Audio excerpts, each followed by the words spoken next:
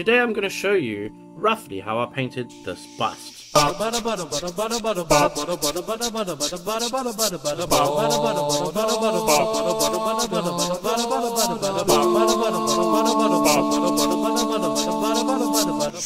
Hello everyone and welcome back to another cabbage soup boiled in your mom's favourite pot. And in this video, today I'm going to show you roughly how I painted this bust from Samex, or Malix 3 Design, whichever you feel like calling it. I always start my models with a primer from Vallejo. It is a black primer.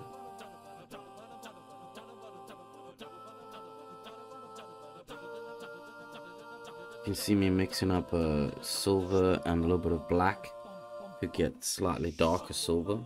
I'm going to base coat the pedestal now.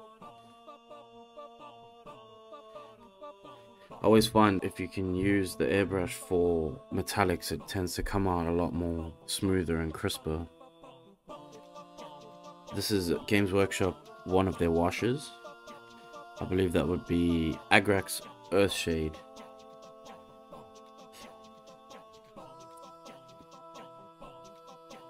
Base coats on the lettering, the Justice League. Just putting in a real rough base coat.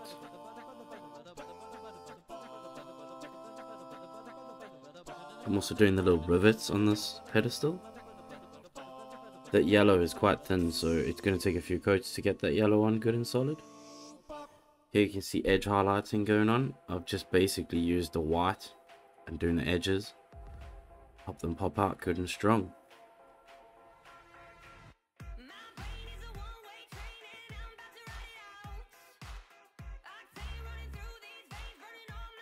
So starting the, the main piece of the bust with the reds, um, keeping the black as the base and spraying mainly from the top to make sure that there's a shadow.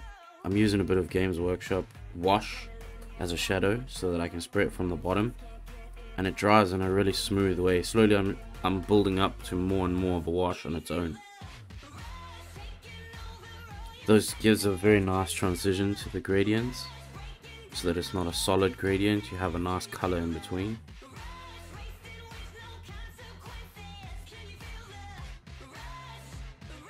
Using a wash to just place in all the small little grooves. Basically all the little details that are cut into the model, I'm going to use a wash and something like that. It's the quickest way really to get that detail in there without spending time fully painting that dark and then building up again. This is the base coat of the skin or flesh tone. It's a pretty dark skin tone to be honest. To start off, for me I like to go dark. Um, I will build the lights into that rather than the other way around.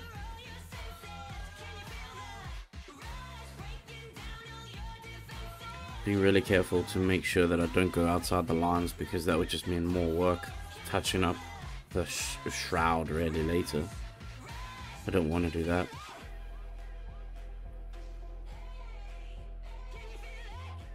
Be careful, bruh.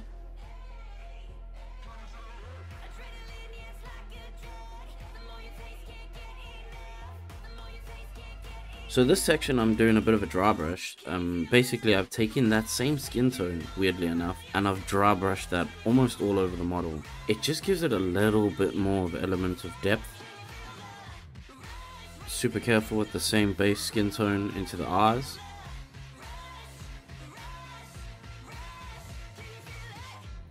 do both of them to make sure.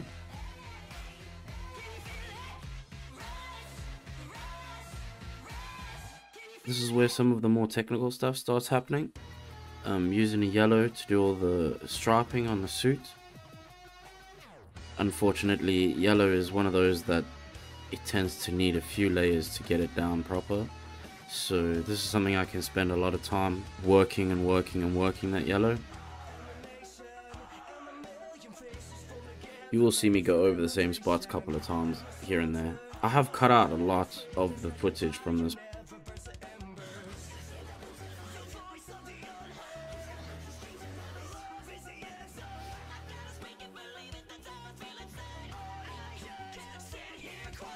Doing those little ear things, lightning bolts on his ears. Again, you can see the coverage on the yellow is beyond ridiculous. I have to do that layers by layers by layers.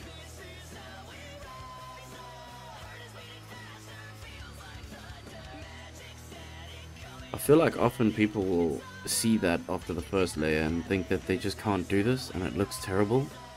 But it takes a few layers to build the color up. It's not because you're bad at painting or anything.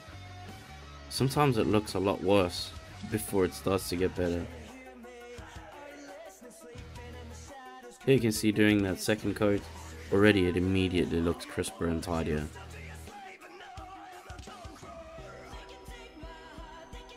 Having a quick dry fit. Again, this is a wash, a very quick and easy way of doing this. I would usually paint something like this up, but I'm trying to keep this series simple so that people can follow along from home without having to do too many complicated techniques. So here's a glaze. I've done a video previously on glazes. This is just a glaze that's going on over the skin. This is about the third or fourth layer in already. Um, again, as I say, I've cut out a lot of this video so that it didn't take too long. But you can see the glazes working. Now and then you'll see me rub off some of the paint. That's with my finger or even with a wet brush with no paint on it. It is very forgiving when you work with acrylics like this. You can just rub off as long as you catch it before it dries. Making sure to pay attention to where all the skin highlights are. Malix gives you a rendered version of the models quite often so it's easy to just look back at the rendered version of the model and place your highlights exactly where the highlights are in his pictures if you want to make your life a lot easier. Starting the hard part that everybody hates, these are the eyes. First thing I do always is paint them black. It's usually not a pitch black, that's usually a black mixed slightly with the darker skin tone. But only slightly, it's still gonna look black to your eye, but it isn't a true black. Make sure that that dries good and proper. Be super careful. Try to make sure you get it all along the ridge of the eye so the eyelid gets blackened.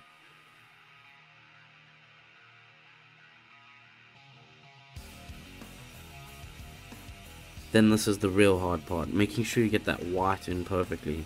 Making sure to leave a small thin line around the eye of black this will give you the illusion of the depth that you need for the eyes. Sure, he's a man.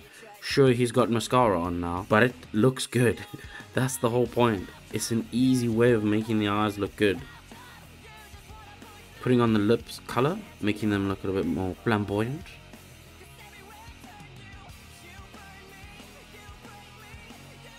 I'm working more glazes over the skin as we go along.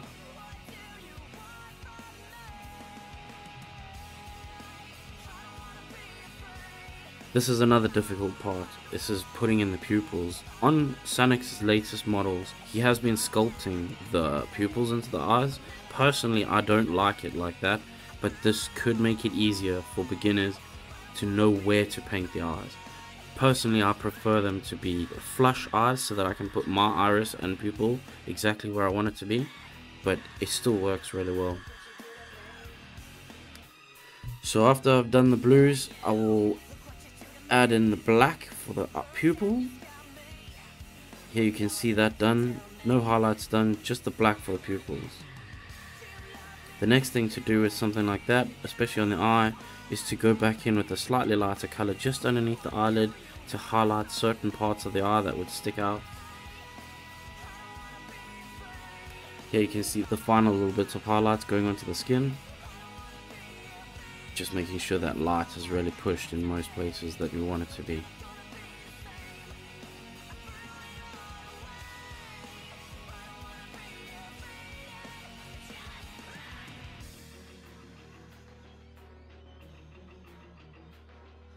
This is a glaze. This is a it, you can't really see the color, but it's a very purplish pink glaze that I use to tie in all the skin tones together.